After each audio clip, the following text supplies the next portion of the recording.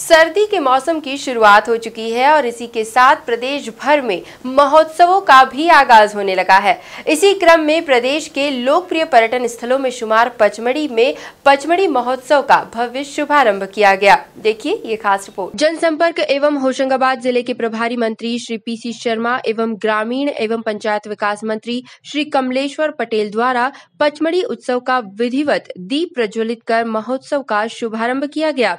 कार्यक्रम में शास्त्रीय गायिका दिव्या शर्मा और अंतर्राष्ट्रीय ख्याति प्राप्त कलाकार श्रीमती लता से मुंशी की शानदार प्रस्तुतियों ने माहौल में समा बाँध दिया। इस दौरान कार्यक्रम में पुलिस अधीक्षक एम एल छारी समेत कई कांग्रेस नेता भी मौजूद रहे।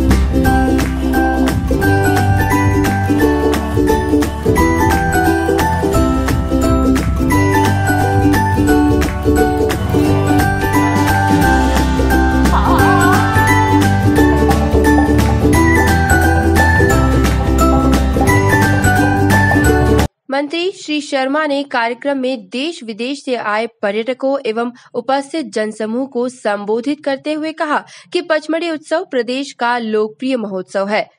उत्सव में लाखों लोग प्रतिवर्ष मनोरंजन हेतु आते हैं।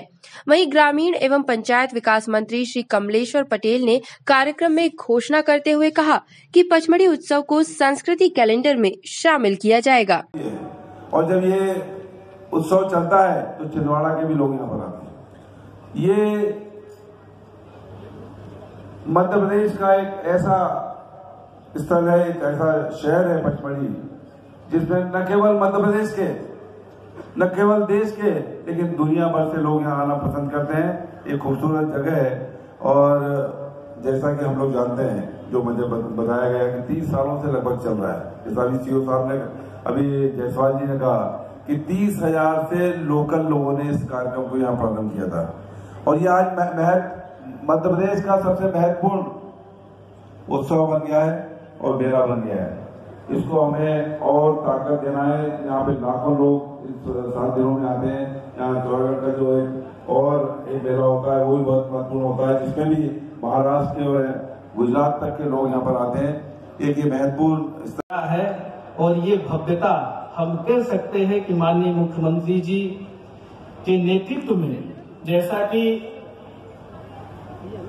यहाँ पर हमारे नगर पालिक नगर परिषद के जो उपाध्यक्ष हैं, आदरणीय जायसवाल जी ने, और यहाँ के स्थानीय लोगों ने और जिला प्रशासन ने भी इस बात के लिए अनुरोध किया है कि ये उत्सव, ये सरकारी कैलेंडर में दर्ज हो और संस्कृति विभाग जिस तरह से खजुराहो उत्सव, अन्य उत्सव आयोजित करता है, उसी तरह से पचमढ़ी महोत्सव की भी शुरुआत हो। हम आपको विश्वास ही नहीं, बल्कि हम घोषणा करते हैं माननीय मुख्यमंत्री जी की तरफ़ से, आदरणीय पीसी शर्मा जी और हम मिल मध्य प्रदेश में पर्यटन की व्यापक संभावनाएँ हैं। ऐसे में सरकार को इसकी दोहन करने वाली नीति बनाकर प्रदेश को एक आकर्षक गंतव्य स्थल के रूप में विकसित करना चाहिए, ताकि यहाँ व्यापक रूप से रोज़गार का सृजन भी हो सके। Bureau report, MP news, Pachmarhi.